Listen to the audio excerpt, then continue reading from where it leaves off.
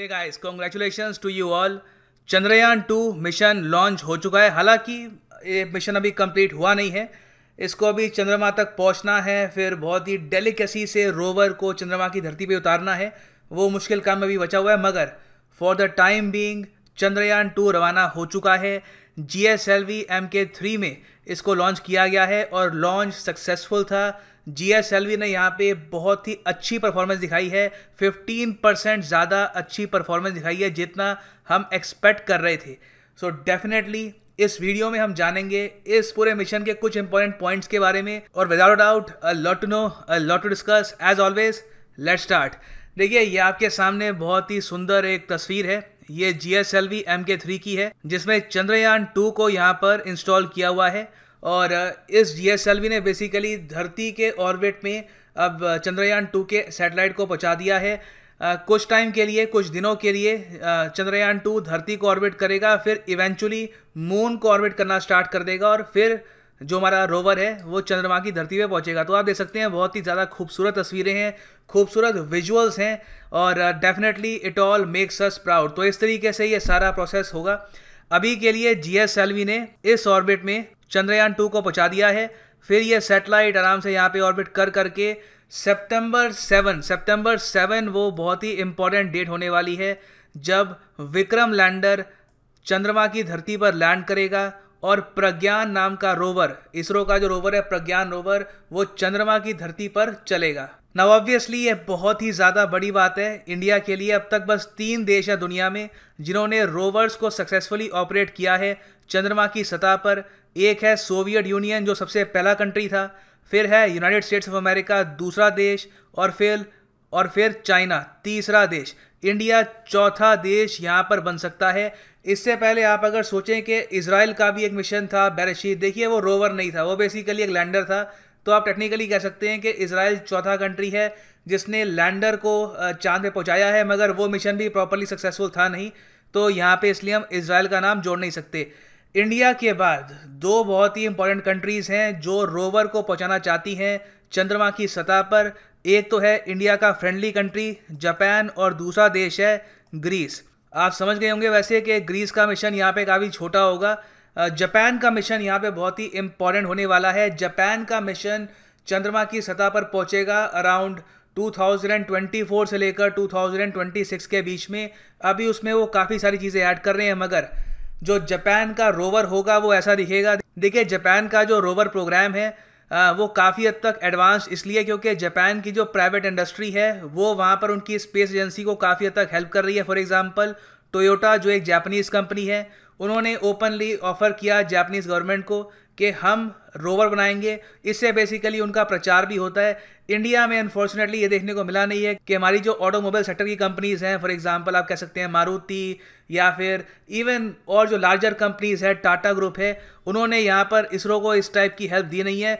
शायद इसलिए नहीं थी क्योंकि उनके पास इसकी अभी एक्सपर्टीज ही नहीं है और उनके पास अभी ऐसी कोई रिसर्च ही नहीं है। मगर आप देख सकते हैं, जो जापान का रोवर होगा it will be quite impressive मगर for the time being ISRO का जो प्रज्ञान रोवर है ये, जो ऑफकोर्स जापान के रोवर से काफ़ी छोटा है, ये चंद्रमा की सतह पर पहले पहुँच जाएगा और ये मून के साउथ पोल पर वाटर की खोज करने की कोशिश करेगा। तो ये आपके सामने एक और फ़ोटो है, ये है विक्रम लैंडर और उसमें से ये प्रज्ञान रोवर निकल रहा है और उसके बाद ये चंद्रमा की सतह पर काम करेगा 14 डेज़ तक।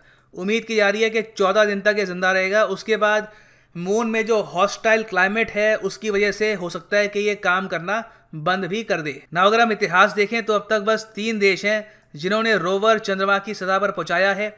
उनमें से सबसे बड़ा कंट्री जो सोवियत यूनियन था, उनका पहला रोवर चंद्रमा की सतह पर था लोन खोद वन लोन खोद वन अपने आप में मिशन का नाम था। और यह आपके सामने वो रशियन रोवर है, इसका एक रेप्लिका है जो रशिया ने चाँद पर भेजा था, आप देख सकते हैं। It is quite fascinating 1970s में रशिया ने कर लिया था, उसके बाद यूएसए ने कई साल बाद एक और रोवर भेजा। ना 2019 में जो हम ये कर रहे हैं, ये भी एक बहुत ही ज़्यादा इंप्रेसिव फीट है। हमारे प्राइम मिनिस्टर ने ये कहा है कि चंद्रयान टू जैसे एफर्ट से जो फ्यूचर जनरेशन है, जो यंगस्टर्स हैं वो प्रोत्साहित होंगे टू डिस्कवर स्पेस वो इसरो में काम करना चाहेंगे और इससे जो ओवरऑल साइंस में एडवांसमेंट है, उसमें भी काफ़ी बढ़ोतरी होगी। और इंडियन प्राइम मिनिस्टर के अलावा इंटरनेशनली भी बहुत सारी स्पेस एजेंसीज चंद्रयान टू को काफ़ी अप्रिशिएट कर रही हैं। इसराइल की तरफ़ से ऑब्वियसली एक बहुत ही अच्छा जेस्चर आया है। इसराइल टू मून जो इसराइल का मून मिशन है, जिसके अंडर बैरशीत को लॉन्च किया गया था इन्होंने ये कहा है कि Chandrayaan two lifted off successfully and it is on its way to the moon congratulation to our Indian colleagues we look forward to more of your successes Chandrayaan two is particularly intriguing as it will go to moon south pole to find out more about lunar water अब Israel की तरफ़ से मैं कहूँगा, बहुत ज़्यादा एक अच्छी स्टेटमेंट आई है वेरज नासा की तरफ़ से जो स्टेटमेंट थी, काफ़ी अजीब सी थी। इसको हालाँकि इंडियन मीडिया कवर कर रहा है कि देखिए नासा ने कॉन्ग्रेचुलेट किया इसरो को, मगर आप जो पूरी स्टेटमेंट देखोगे तो वहाँ पे आपको दिखेगा कि नासा ने यहाँ पे काफ़ी छोटा वन भी दिखाया है। देखिए, यहाँ पे लिखा हुआ है congratulation to ISRO on the launch of Chandrayaan two mission आगे ये लिखते हैं वी वी मतलब NASA we are proud to support your mission हमें गर्व है कि हमने भी आपके मिशन को सपोर्ट किया है हमारे डीप स्पेस नेटवर्क के ज़रिए। तो क्या है कि चंद्रयान टू में हम लोगों ने नासा का जो डीप स्पेस नेटवर्क है, उसको भी कुछ फेजेस में इस्तेमाल किया है। तो नासा ने यहाँ पे उसको भी स्पेशली मेंशन किया और उसके बाद एक बहुत ही अजीब सी बात लिखी। ये कहते हैं कि we look forward to what you learn about the lunar south pole where we will send astronauts on our Artemis mission in a few years recently NASA ने अनाउंस किया है अर्थमिस मिशन जिसमें 2024 तक वो लोग अमेरिकन एस्ट्रोनॉट्स को चाँद की धरती पर लेके जाएँगे। तो उनका प्लान यही है कि जहाँ पे चंद्रयान टू जा रहा है मून का साउथ पोल वहाँ पर ही अपने एस्ट्रोनॉट्स को भेजें। तो यहाँ पे नासा ने मैं कहूँगा, ये कह दिया है कि अभी आप जहाँ पे अपना रोवर भेज रहे हैं, कुछ साल बाद हम वहाँ पर ह्यूमन बींग्स भेजने वाले हैं। तो ये कुछ ऐसा ही है, मान लीजिए कोई गरीब कॉलेज से कोई लड़का उसने टॉप कर लिया हो और वहाँ पे कोई अमीर आदमी जाए और कहे कि ठीक है, तुमने टॉप तो कर लिया है, मगर स्टेशनरी तो हमारी इस्तेमाल करी है। तो मुझे बहुत अजीब लगा नासा की ये स्टेटमेंट पढ़ के। अच्छा मैं आपको ये बता दूँ कि डीप स्पेस नेटवर्क बेसिकली है क्या? देखो, बहुत सी कंट्रीज़ हैं, उन्होंने अपना डीप स्पेस नेटवर्क ना रखा है। ये बेसिकली क्या होती हैं? धरती पर सैटेलाइट्स होती हैं, जो रेडियो वेव्स के ज़रिए जो भी स्पेस क्राफ्ट है जो भी आप कह सकते हैं mission space mission space probe अंतरिक्ष में जा रहा है, उसको दिशा बताती है कि बेसिकली आप कहाँ पे हो, कहाँ पे जाना है। आप इसको बहुत ही सिंपल भाषा में, बहुत ही ज़्यादा सिंपल भाषा में कह सकते हो कि ये टाइप का स्पेस जीपीएस टाइप का होता है। इससे बेसिकली आपको गाइडेंस में हेल्प मिलती है।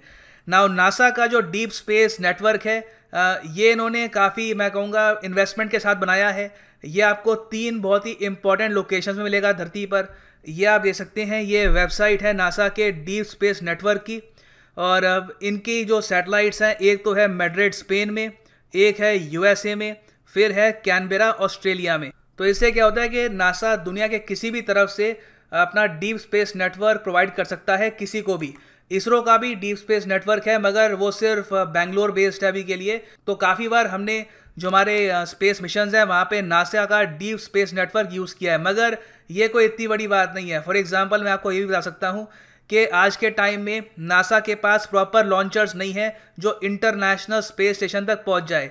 नासा बार बार रशिया के जो स्वेज रॉकेट्स हैं, उनको यूज़ करता है। उसके ज़रिए अपने एस्ट्रोनॉट्स को इंटरनेशनल स्पेस स्टेशन में पहुंचाता है। मगर आपने कभी रशियन स्पेस एजेंसी को इस टाइप की स्टेटमेंट देते हुए नहीं देखा होगा?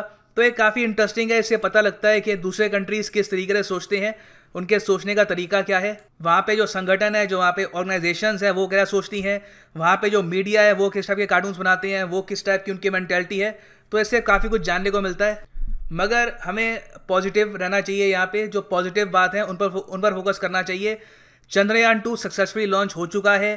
प्रज्ञान रोवर विक्रम लैंडर और मून ऑर्बिटर के साथ। ये बहुत ही अच्छी बात है and we should all be proud of it even though यहाँ पे मैं ये भी मेंशन करना चाहूँगा इंडिया को यहाँ पर पहुँचने में काफ़ी दिक्कतें आई। जो नासा यहाँ पे अभी कॉन्ग्रेचुलेट कर रहा है इंडिया को और हमको अभी डीप स्पेस नेटवर्क भी प्रोवाइड कर रहा है।